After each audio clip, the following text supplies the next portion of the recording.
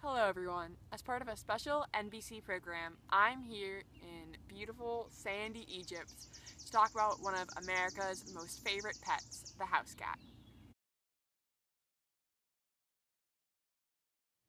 The domesticated house cat that is so loved by so many families all over the world today was first appreciated in ancient Egypt.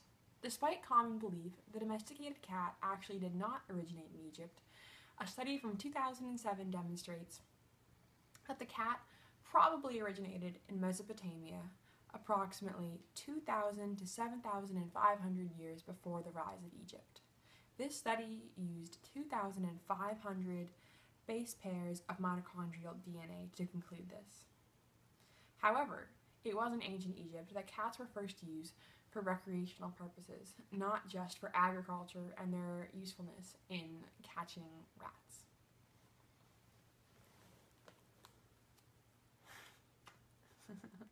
the cats that were so revered in Egypt are actually very genetically similar to the domestic cat, house cat that we have now.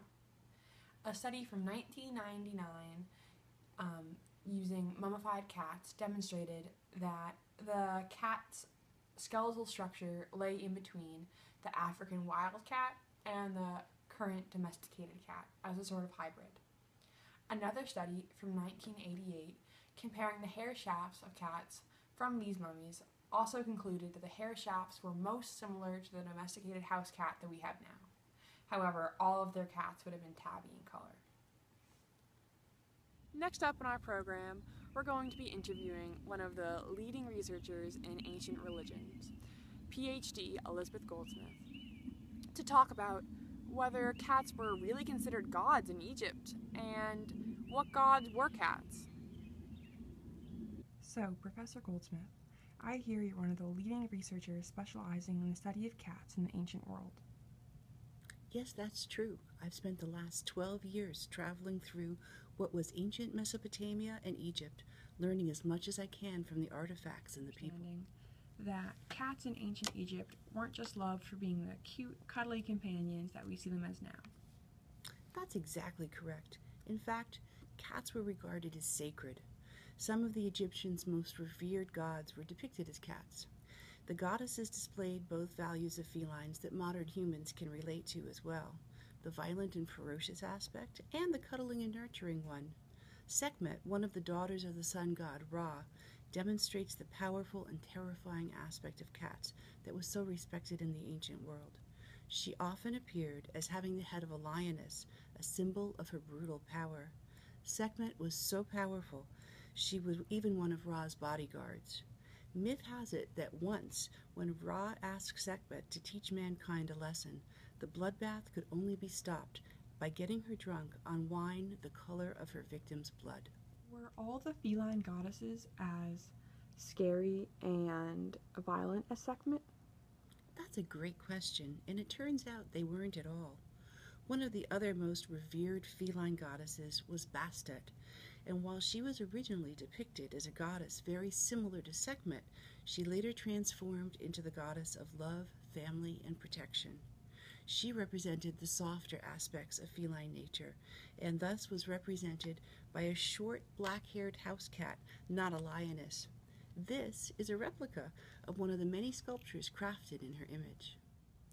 I know ancient Egyptians worshipped many gods. How important were the feline ones? Well, Sekhmet and Bastet alone were extremely important, but there's evidence that Egypt's arguably most important god, Ra, the sun god, was also sometimes depicted as a cat.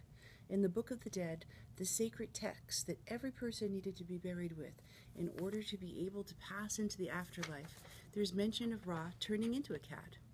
I actually have a printout of the page in the passage here, translated into English, obviously. I am the great cat beside whom the Ished tree was split in you on the night of active battle. The last part of our NBC special will be interviewing Dr. Robert Montanaro, who specializes in ancient Egyptian social life, on how cats were treated on a day to day basis. Hello, Dr. Montanaro. Thank you so much for taking time out of your busy schedule to talk to me a little bit about cats and how they interacted with humans in ancient Egyptian society. I understand that you specialize in this. Hi, yes, um, I actually specialize in the Ptolemaic period, which is the period of time from 332 to 30 BCE, um, when Egyptian reverence of cats really reached its height. So, what can you tell me about how cats were treated by people during this time? Well, one of the common misconceptions you see is that uh, cats were worshipped as gods in ancient Egypt in, in this time period, um, when in fact they were just looked upon uh, with divine qualities, uh, meaning they had qualities of the Egyptian gods, not that they were gods themselves. So, were cats not revered? No, um, they were still quite revered. In fact, killing a cat was punishable by death. The Greek author Diodorus um, describes in his book, The Library of History, how if a cat was killed, it was often mummified, and the person who killed the cat was more than likely to be killed by a crowd of common people. So, how were cats celebrated during this time period?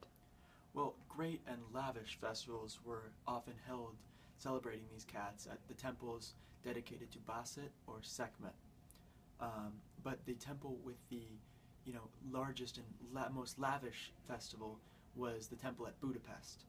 Uh, Herodotus' account of this festival states that more grape wine was drunk here than anywhere else during the year. Thank you so much for your time, Dr. Montanaro. I Oh, really appreciate it. Despite the genetic similarities between the cats that lived in ancient Egypt and the current domesticated house cat, the way cats were treated religiously is extremely different than how it is now. As you can see, cats are still worshipped today. Thank you all so much for joining me on my exploration of ancient Egypt and for learning about my personal favorite pet, the house cat. If you enjoyed our program this evening, please donate to NBC through our website, www.nbc.org, and to give me an A. Thank you very much. Good night.